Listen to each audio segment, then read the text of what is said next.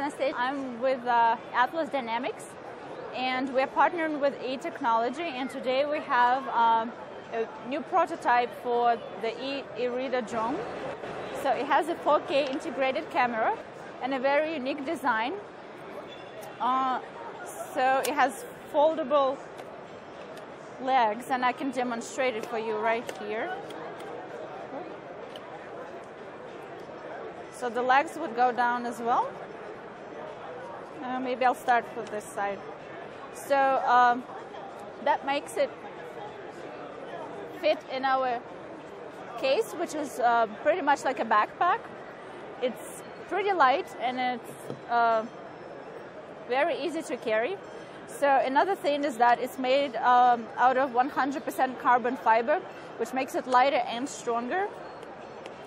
And one more crucial feature is the speed.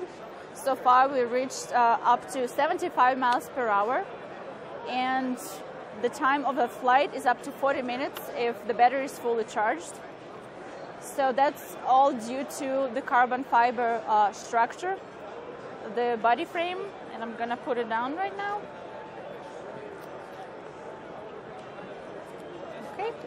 So it's all fully back. Well, so far it's not it's the market yet. We just announced the launch a week ago. So hopefully it will be available soon. And just stay tuned and we'll let you know when and for how much you can buy it and all other details.